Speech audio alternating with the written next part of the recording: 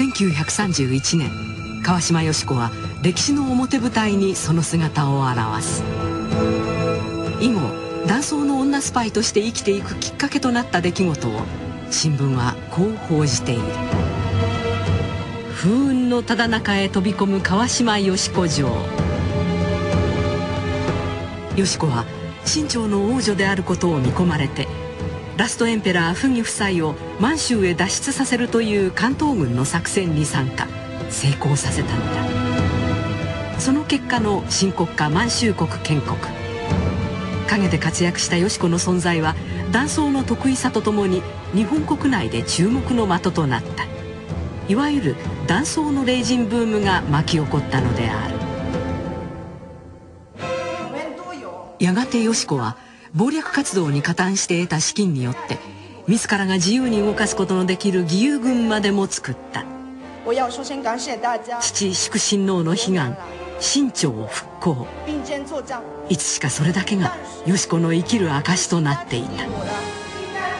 だが関東軍にとっては一発の司令官気取りですね。うん。もうそろそろ川島よし子を何とかせねばならんな清朝清朝と勝手な行動をとるよし子はもはや厄介な存在でしかなかった。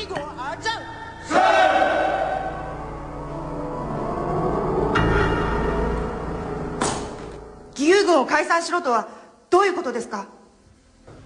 あなたには別の任務で天津に行っていただきたいのだ。天津は今満州国安定のためにも重要な拠点となっておる。あなたにはそこで活動していただきたい。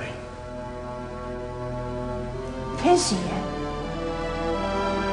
結局天津の東光楼というレストランを与えられたよし子関東軍は邪魔者よし子を体よく追い払うことに成功したのだ。二人のよし子が初めて顔を合わせたのはちょうどその頃のことだった。あよし子か僕もよし子だよっていうことでなんかこう親近感があったんでしょうね。やっぱり生活費がいりますからその捻出するためにいろいろなことなさるわけですよね。はい、でそういうことでなんか大変ご評判はよくなく自分で評判を落としていらしてね。本当まともにこう日中のためにねお動きになってたとしたらこんな素晴らしい方なかったのにどこかで川島さんが狂われてね。そんな言葉を裏付けるようなよし子の現実。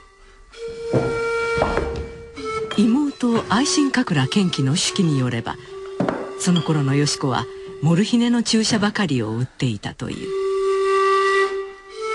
中国清朝王家の王女として生まれながら日本人として生きねばならなかったその運命